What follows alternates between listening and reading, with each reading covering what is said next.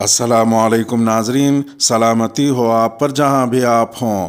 Calendar पर आज दिन में तारीख रही नौ रमज़ानमबारक अंग्रेज़ी तारीख 11 अप्रैल है। अपने मेज़बान राही हिजाजी से इंडिया की खबरें सुनिए। रामनवमी के मौके पर कई रियासतों में तशद आगजनी, पथराव और कर्फ्यू। रामनवमी पर शोभा यात्रा और जुलूस के दौरान कई रियासतों में हंगामा हुआ है। इन रियासतों में गुजरात, मध्य प्रदेश, झारखंड और मगरबी बंगाल शामिल हैं। गुजरात में हुए फ़िरका वाराना तसादम में एक शख्स के हलाक होने की खबर है। खम्बाट और हिम्मतनगर शहर में यह तसादम हुआ, जिसमें दो फ़िरक़ों के दरमियान तशद हुआ। खबरों के मुताबिक विश्व हिंदू परिषद ने हिम्मतनगर में रामनवमी का जुलूस निकाला, जिसमें मुबैना तौर से ज़बरदस्त हंगामा हुआ। शरपसंदों ने सड़क पर कई गाड़ियों को नज़र आतिश कर दिया और दुकानों को आग लगा दी। पुलिस ने हंगामा आराई करने पर पंद्रह से जायद अफराद को गिरफ़्तार कर लिया है।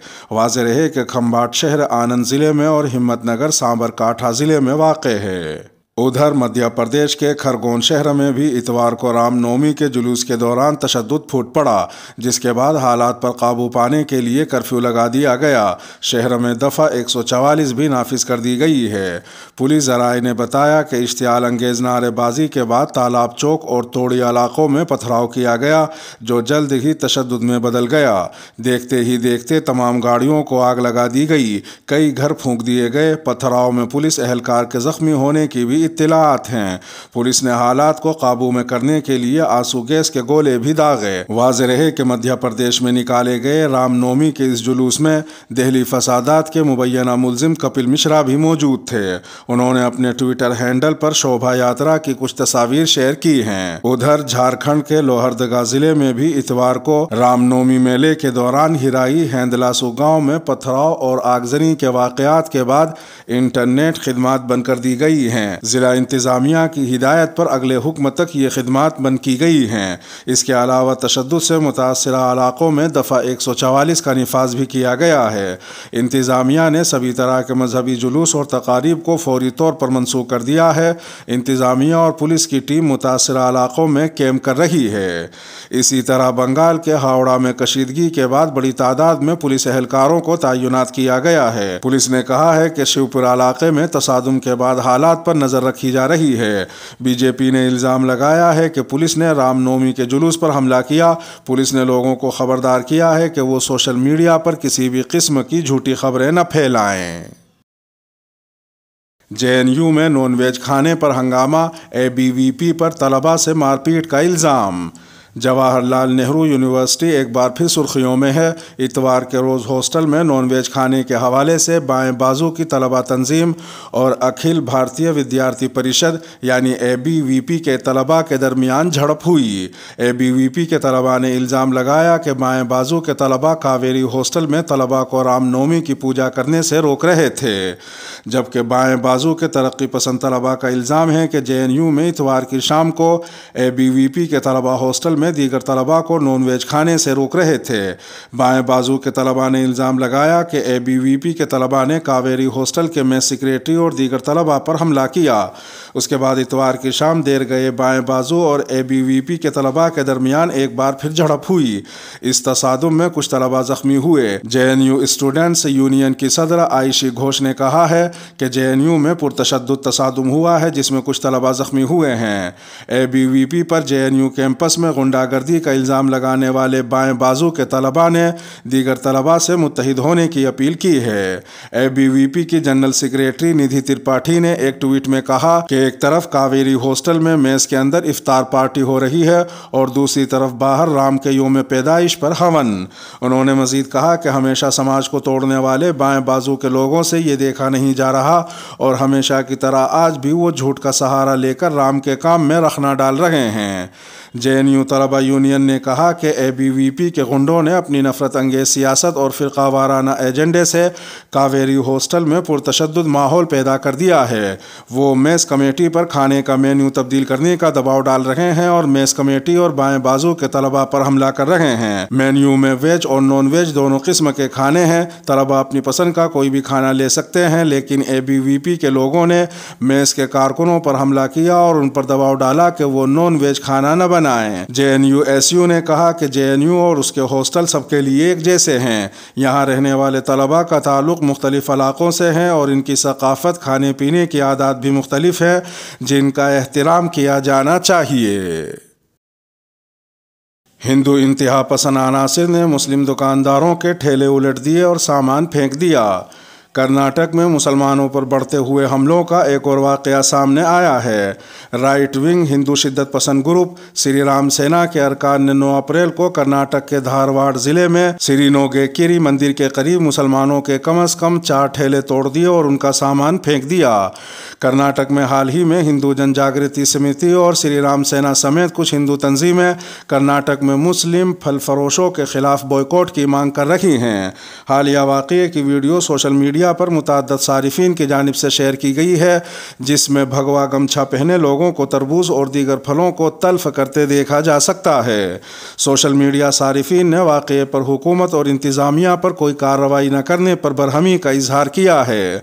इस वाक़े की मजम्मत करते हुए कर्नाटक के सबक वज़ीर अला एच डी कुमार स्वामी ने हुकूमत पर ज़ोर दिया है कि इस घिनौने काम में मुलविस अफराद के खिलाफ फौरी तौर पर फौजदारी मुकदमा दर्ज किया जाए।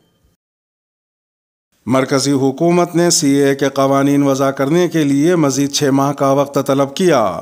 मरकज़ी वजारत दाखिला ने सी ए के कवानीन को वज़ा करने के लिए मज़ीद छः माह का वक्त मांगा है। वजारत ने लोकसभा और राज्यसभा दोनों की पार्लिमानी कानून साजी से मुतल मातहत कमेटी को ख़त लिखा है। कवानीन बनाए बगैर एक्ट पर अमल दरामद नहीं हो सकता।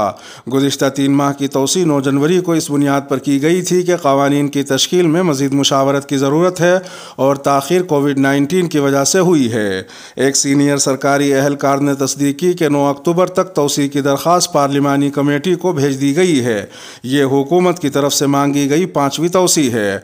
वाज रहे कि सी ए ने पाकिस्तान, अफ़गानिस्तान और बांग्लादेश की छः गैर मुस्लिम बरदरीों के अरकान को शहरीत देने का नज़म किया है, जो इकतीस दिसंबर दो हज़ार चौदह से पहले भारत में दाखिल हुए थे। ये गैर मुल्की एक्ट उन्नीस सौ छियालीस और पासपोर्ट एक्ट उन्नीस सौ बीस के तहत छः गैर मुस्लिम बिरादरियों के अफराद को किसी भी फौजदारी मुकदमे से मुस्तना करार देता है। आसाम, उत्तर प्रदेश, कर्नाटक, मेघालय और दिल्ली में सी ए मंजूर होने के बाद दिसंबर 2019 से मार्च 2020 तक होने वाले मुजाहरों और फसादात में तिरासी अफराद मारे गए थे। मीरठ के सबक वज़ीर याकूब कुरैशी के खिलाफ गिरफ्तारी का वारंट जारी। बंद फैक्ट्री में करोड़ों रुपये मालियत के मुबैना गैर कानूनी गोश्त की बरामदगी के बाद उत्तर प्रदेश के सबक वज़ीर याकूब कुरैशी और उनके कुंबे के अरकान के खिलाफ गिरफ्तारी का वारंट जारी कर दिया गया है। ताहम वो अभी पुलिस की गिरफ्त से बाहर हैं। सबक वज़ीर की गिरफ्तारी के लिए पुलिस की कई टीमें दिन रात दबिश दे रही हैं। वहीं मीरठ डेवलपमेंट अथॉरिटी के ज़रिए हाजी याकूब कुरैशी की फैक्ट्री और रिहाइश पेशगाह को मुनहदिम करने के लिए नोटिस चस्पा कर दिया गया है। Senior superintendent of police Prabhakar Chaudhary ने बताया कि अदालत से गिरफ्तारी वारंट मिलते ही एडिशनल सुप्रिंटेंडेंट ऑफ़ पुलिस, चार डिप्टी सुप्रिंटेंडेंट ऑफ़ पुलिस और थानों की पुलिस की टीम तश्कील दी गई है। ये टीम याकूब कुरैशी, उनकी बीवी संजीदा बेगम, दोनों बेटे इमरान और फिरोज की तलाश में मशगूल है। उन्होंने बताया कि तमाम मफरून मुलजमीन पर शिकंजा कसने के लिए गोश्त फैक्ट्री और उनकी रिहाइश गाह की कुर्की की तैयारी तैयारी भी कर ली गई है। उधर दूसरी जानब उत्तर प्रदेश के लीडर मुख्तार अंसारी के खिलाफ हुकूमत की जानब से कार्रवाइयों का सिलसिला लगातार जारी है। इस ज़मन में गाजीपुर के महुआ बाग इलाके में तकरीबन 810 मुरबा मीटर ज़मीन को कुर्क कर लिया गया है। ये जायदाद मुख्तार अंसारी की वालदा राबिया बेगम के नाम पर दर्ज है। इस ज़मीन की कीमत तकरीबन साढ़े तीन करोड़ रुपये बताई गई है। गाजीपुर ज़िले में इससे पहले भी मुख्तार अंसारी और उनकी अहलिया समेत दीगर अहल खाना के नाम पर दर्ज करोड़ों रुपए की जायदाद कुर्क की गई है। गाजीपुर के अलावा मऊ में भी मुख्तार अंसारी के कारोबार को नुकसान पहुँचाया गया है। बीजेपी के मुस्लिम लीडर के दिए कूलर्स नमाजियों ने बाहर फेंक दिए। बीजेपी अपने मुस्लिम लीडरों के ज़रिए तेलंगाना में अकलीतों की हिमायत हासिल करने की कोशिश कर रही है। ऐसी ही एक कोशिश में बीजेपी के एक मुस्लिम लीडर को अपनी ही कौम के लोगों की मुखालफत का सामना करना पड़ा। तफसीत के मुताबिक तेलंगाना के वकाराबाद ज़िले के बीजेपी लीडर मोहम्मद अनवर ने नमाजियों को गर्मी से नजात दिलाने के लिए मस्जिद को कई कूलर्स अतीये में दिए थे। इस दौरान उन्होंने मस्जिद में मौजूद लोगों से कहा कि बीजेपी ने मुसलमानों के लिए बहुत कुछ किया है। बीजेपी मुसलमानों से बहुत बहुत मोहब्बत करती है। उन्होंने बीजेपी की तारीफ़ करते हुए मजीद कहा कि बीजेपी ने तीन तलाक कानून लाकर मुस्लिम खवतिन के लिए बहुत अच्छा काम किया है। इससे मुसलमान काफ़ी खुश हैं। बीजेपी मुस्लिम लीडर की इन बातों का असर उल्टा पड़ गया, जिसने मुसलमानों को मुश्तिल कर दिया और उन्होंने बीजेपी के साथ साथ बीजेपी के मुस्लिम लीडर मोहम्मद अनवर के खिलाफ भी नारेबाजी की।